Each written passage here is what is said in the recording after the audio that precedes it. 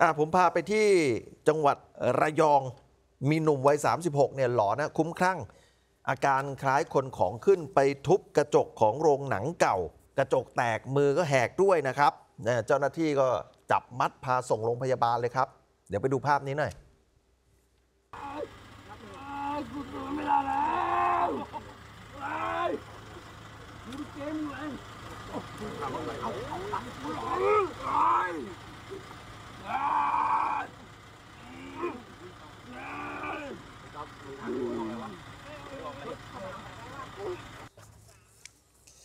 นี่นะครับ ชายคุ้มครั่ง ทุบกระจกโรงหนังเก่า ในวัดบ้านดอนอยู่ที่ตำบลเชิงเนินอำเภอเมืองจังหวัดระยองนะครับ ชื่อนายวิทยาชื่อเล่นชื่อกอล์ฟอายุ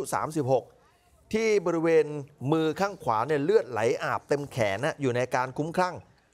พร้อมกับพูดบอกว่าเนี่ยครูลิเกไม่แรงสู้ครูหนังใหญ่ไม่ได้ จากนั้นก็ลงไปนอนชักอยู่กับพื้นอาการคล้ายคนโดนผีเข้าหรือของขึ้นนี่แหละ ทางเจ้าหน้าที่ก็พยายามเอาตัวเนี่ยพาส่งโรงพยาบาลนะครับ สอบถามเมียของหนุ่มคลั่งเนี่ยบอกว่าเนี่ยสามีไม่ได้ป่วยเป็นจิตเวชไม่ได้เล่นยาเสพติด แต่เคยติดเหล้ามาก่อนนะครับ ส่วนสาเหตุที่เกิดอาการนี้ก็ไม่ทราบเหมือนกันนะว่าสามีไปทำอะไรเจออะไรมาเดี๋ยวลองฟังเมียหน่อย เขาเดินมาถามว่าผมอยู่กับลูก นอนดูโทรทัศน์อยู่กับลูก ก็เลยวิ่งไปดูก็เห็นมือเขามีแต่เลือดแล้วก็เรียกเขาเขาก็เหมือนไม่รู้จักหนูอะผมพูดไม่ถูก ไม่ไม่หือไม่อือ ได้แต่ว่าครูมึงแรงกว่าครูมันแค่ลิเกเขามันโลเขาเขา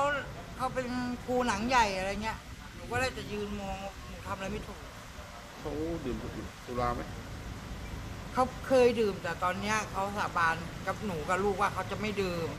คือเขาเดิน อะก็เอาตัวไปสงบสติอารมณ์นะฮะไม่รู้เกิดอะไรขึ้นมาเนี่ยคลั่งขึ้นมานะครับ ครับ